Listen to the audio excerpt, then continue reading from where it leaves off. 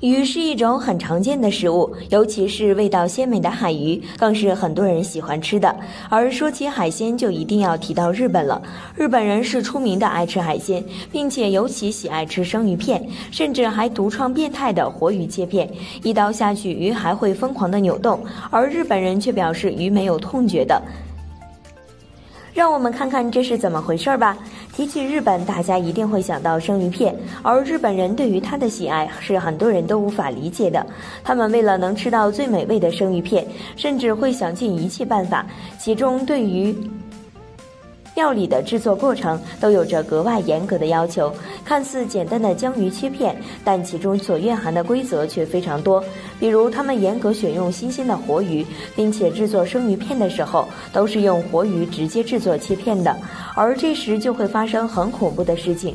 如果你看过这个制作过程的话，你就会发现，在切片的时候，鱼都会很剧烈的挣扎，但是无论他们怎么挣扎，最终都会变成生鱼片。